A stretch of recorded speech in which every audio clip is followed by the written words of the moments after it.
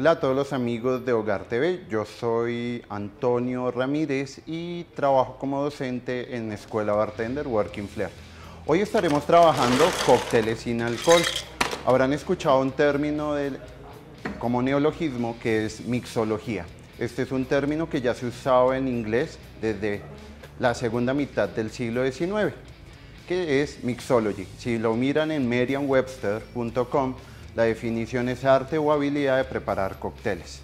Si bien tenemos una palabra en español que es coctelería como arte de preparar cócteles, se puede llegar a interpretar una idea que es la de Fernando Castellón.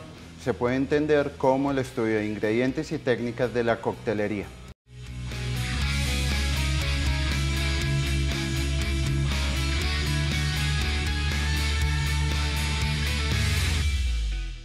Hoy vamos a estar trabajando algo que es cócteles sin alcohol.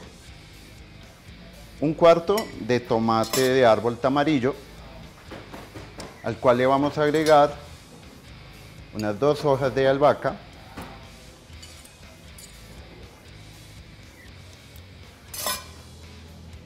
el vinagre que tengan a su disposición, yo estoy usando vinagre blanco, 7.58 mililitros, lo cual se puede entender como dos cucharaditas de bar. Y entramos a majar. Macerar también es otra palabra que se puede usar en español.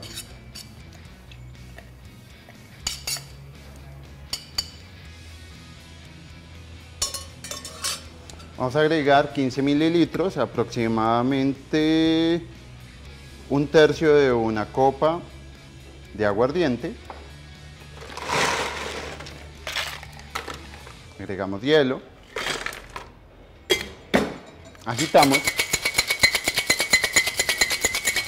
La técnica de cada bartender podrá hacer que los lleve a agitar de diferentes formas, dependiendo del resultado que quieran lograr con los ingredientes que han agregado.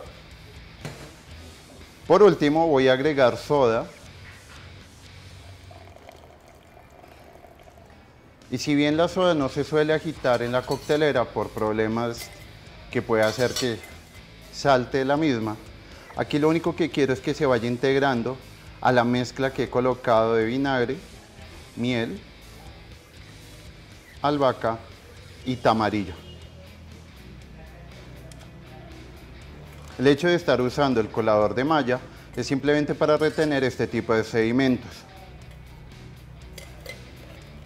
Por último, podemos colocar una hoja de albahaca que podemos frotar. Y algunas personas llaman este tipo de cócteles sin alcohol como mocktails, que es el término en inglés. Yo sí creo que existe en la coctelería sin alcohol para que disfruten una bebida con un consumo responsable. Televidentes de Hogar TV, gracias por su tiempo y disfruten un cóctel sin alcohol que puede llevar su nombre. Pueden conocer un poco más de nuestro trabajo en arroba escuela bartender working flair.